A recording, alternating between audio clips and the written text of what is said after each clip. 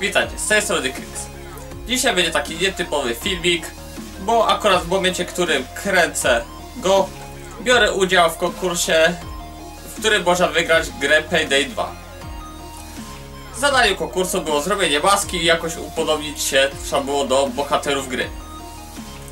Tak więc postanowiłem to zrobić. Jak widzicie, mam nadzieję, że będzie to jakoś widać. Mam część od garnituru. Pomyślałem, że dobrym pomysłem będzie użycie kamizelki. Zaletą jest to, że uczestniczę czynnie w ASG, więc taki sprzęt posiadam. Poza tym mam moją replikę M16, więc jest też już bardzo dobrym rekwizytem. Poza tym nie może zabraknąć torby na ramię. I teraz jeszcze coś wspomnę o bardzo ważnym elemencie, który jest potrzebny, żeby się dobrze upodobnić, czyli jest to maska. Ja swoją maskę wykonałem własnoręcznie. Zacząłem od kupienia takiej głowy na Allegro. Okleiłem ją później masą papierową, czyli dokładnie była to gazeta, a jako kleju użyłem no, zrobiłem klej z mąki ziemniaczanej. Potem to wszystko pobalowałem, postaram się tutaj dać zdjęcia, jak te procesy mniej więcej wyglądały.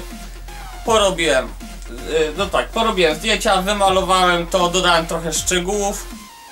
Czyli załóżmy takie zęby, parę takich jeszcze fajnych elementów.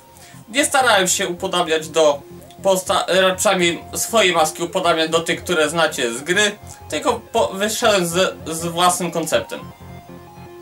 Czyli na zdjęciach powinniście widzieć teraz y, jak to, jak mniej więcej wyglądały, y, wyglądał cały proces, aż do finalnego efektu.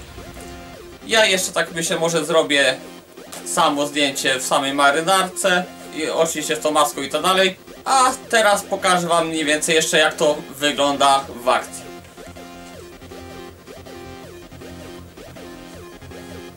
I dobra, moja łaska wygląda właśnie tak.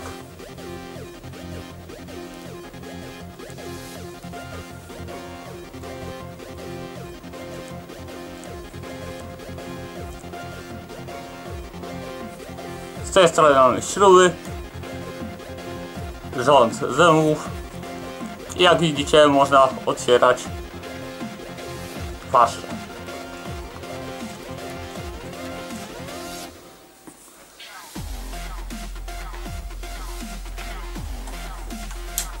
Jeszcze oczywiście ujęcie z bronią. Można dodać jakieś rękawiczki.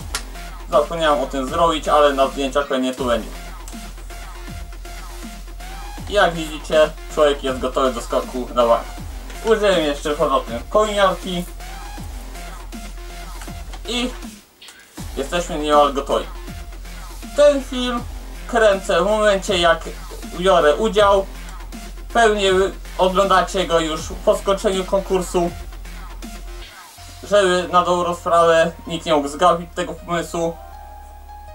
A tutaj wam po prostu chciałem pokazać mniej więcej jak to wyglądało w międzyczasie.